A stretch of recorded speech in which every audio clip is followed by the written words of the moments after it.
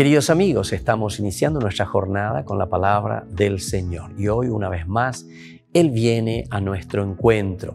Leemos desde la segunda, el segundo libro de Crónicas, queridos amigos, del capítulo 36, 14, 16, luego del 19 al 23. El pueblo multiplicó sus infidelidades. En aquellos días las autoridades de Judá, los sacerdotes y el pueblo multiplicaron sus infidelidades imitando las prácticas infames de los pueblos paganos, profanando el templo que el Señor había consagrado en Jerusalén.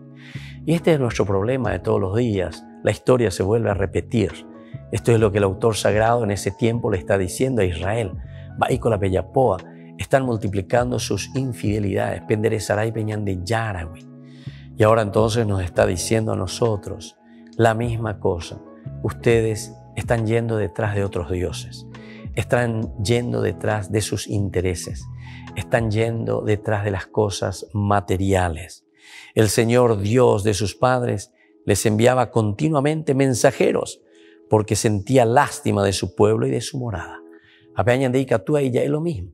Vos ves en hoy tantos medios que nos hablan de esa vuelta hacia el Señor.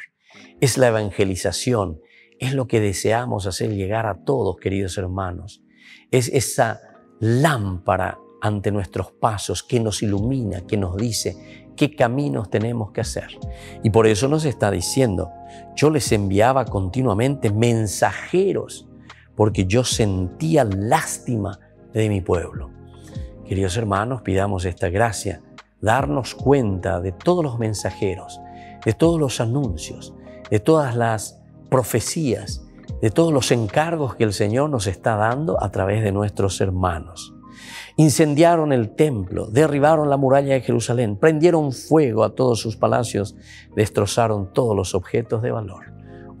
de Esta es una forma histórica, ciertamente, que nos está presentando el autor sagrado de lo que había sucedido con Israel.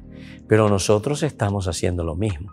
Nosotros también estamos incendiando el templo nosotros también entonces estamos destruyendo las murallas de nuestra propia vida. Nosotros estamos quitando a Dios de nuestras vidas. Queridos hermanos, en este tiempo ya estamos en la cuarta semana, iniciando hoy del tiempo de Cuaresma. Es el tiempo en que tenemos que volver a Dios, tenemos que darnos cuenta de los males que estamos haciendo, pero lo más importante es darnos cuenta que el Señor es misericordioso, que nos vuelve a enviar a sus profetas, nos anuncia este camino de salvación y que tenemos que dar este paso concreto. Y que la bendición de Dios descienda sobre todos ustedes, el Padre y el Hijo y el Espíritu Santo. Amén.